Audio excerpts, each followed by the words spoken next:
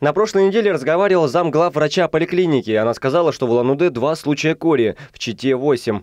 Что это, вымысел или факт? За ответом мы отправились в инфекционную больницу, куда поступают люди с таким диагнозом. В настоящее время в нашей больнице пациентов с корью нет.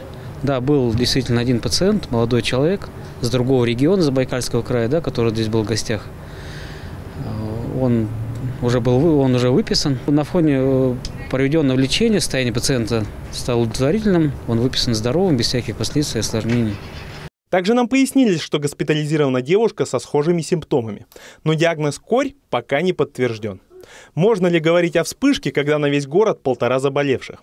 Главное, как утверждают врачи, чтобы не подцепить такую заразу, необходима профилактика. Единственный эффективный метод профилактики кори как для детей, так и для взрослых – прививка. Этот дедовский способ до сих пор спасает жизни. И надо сказать, процедура занимает совсем немного времени, ну и почти безболезненно.